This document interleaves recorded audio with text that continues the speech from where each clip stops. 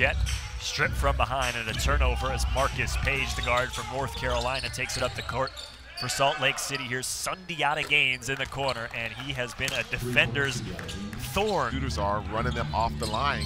You will see that in the playoffs. Here's Gaines, back-to-back threes for the Stars, and they are back up by nine. Gaines flips it underneath the Sims for the lay-in. Nice assist by Sundiata Gaines. Vipers win and Oklahoma City wins. It looks like it will be D-Fenders Rio Grande Valley in the first round. If not, it will be D-Fenders Santa Cruz in the first round. Under five minutes to play here in the opening frame. Sundiata Gaines again, and again a three-pointer for Gaines. That is his fourth three-pointer here in the first quarter. Now, if he was Nate Robinson, he would have just dribbled in between the legs. Sundiata Gaines, five on the game clock, hits a long three.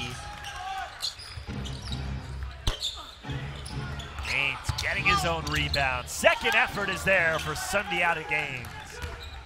D-Fenders not really crashing the boards on the offensive end. Have to get back. Gaines charging, and Gaines muscles it up. He's got 19 points. Nowhere.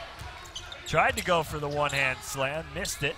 And Sundiata Gaines comes back quickly with the answer. A big three for Gaines brings Salt Lake City within two.